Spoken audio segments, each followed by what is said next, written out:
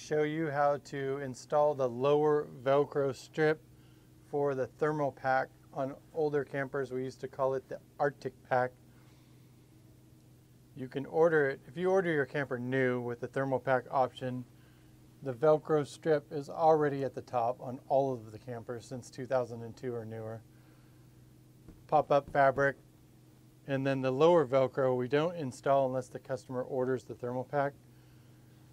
Easy to put in later, so if they ship you a thermal pack, you order it a year, two years down the road, and you want to put it in, we send you the Velcro strip, the thermal pack, and it Velcros at the top and the bottom. So this strip we've already put in after the fact, kind of an aftermarket install. And we'll show you on the other side how we did that. I usually start by marking the screws where the screw holes are. And then we will take all of the screws out of the wall. And what that's going to allow us to do is take the Velcro, this is just like 3M Velcro, sticky back Velcro and we'll stick it to the wall all the way down the side, front to back for the, the lower strip. So when you put your thermal pack in here, you can attach the, the Velcro at the bottom and the top for a good air barrier. So in the back corner, will any of these you can start. I'll just take a little blue pen, black pen, pencil. I mark these and what that's going to do, I'll show you when I'm putting them back in. Once I lay the Velcro strip onto the wall and the screws are removed,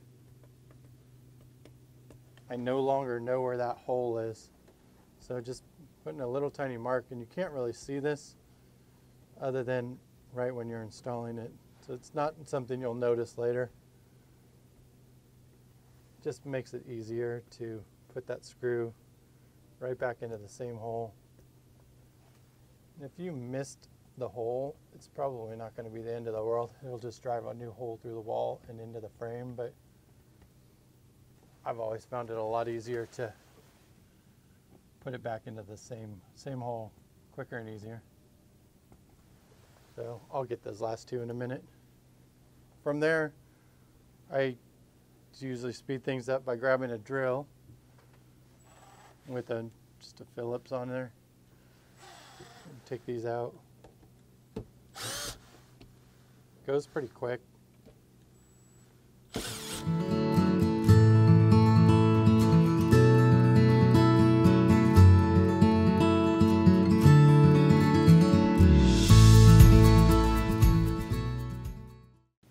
Can go ahead and start putting this strip up now. We'll start in the back corner usually, just so it lines up flush. I'll take that one last screw out of there. Take the Velcro sticky back off. Just start it right in the corner. I'll peel this back as I go. I usually try and keep it flush with this plastic piece up here. Keep it straight so it looks nice, it's level, it's lined up. Run my hand across it.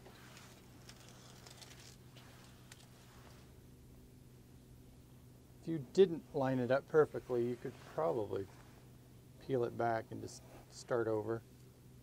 But it seems pretty easy to to keep it lined up. Then from there, I'll keep going down here, but we take the screws that we took out here, and there's little lines here that I can see from my pen, and I'll use that to put the screws back in. What that does is you have sticky Velcro all the way that's attached to the wall, and the screws are just holding it in. So in the summertime when things are hot and the glue is kind of sticky back there, if you attempted to peel the thermal pack off in the summertime when this is hot, the adhesive factor is not as good. Sometimes it'll pull off the wall. So by putting the screws back in there, keeps that strip on there permanently. You can do that with a screwdriver. That one, I missed the hole just by a hair, but it just pushes right through anyway.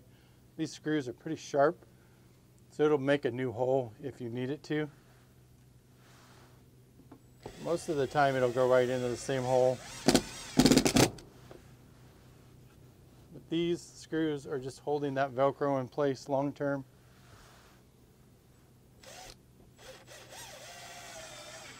That one went right back in the same hole. Mark right there. You can do this with a hand screwdriver as well. I'm kind of grinding these a little bit with this tool, but I'm not worried about it because we're not taking this out again. The screws will come in and out later. So you can be a little bit more delicate, but once they're in there, this strip pretty much lives on there for the rest of the camper. And then we'll just finish that. We'll put the rest of the screws in. I'll go ahead and finish it up and then we'll cut back and I'll show you the final product. So we just finished this up. We showed you earlier removing all the screws off the wall, starting in one corner or the other, laying that Velcro strip all the way along the leading edge, the top edge of that wall. Put the rest of the screws back in and the little excess bit on the end, we just cut it off to match. And now that lower strip is installed on both sides for this particular camper and it's ready for the thermal pack. if you check out our YouTube channel, we have a separate video specifically on the thermal pack, how to put it in the camper. Hope that helps.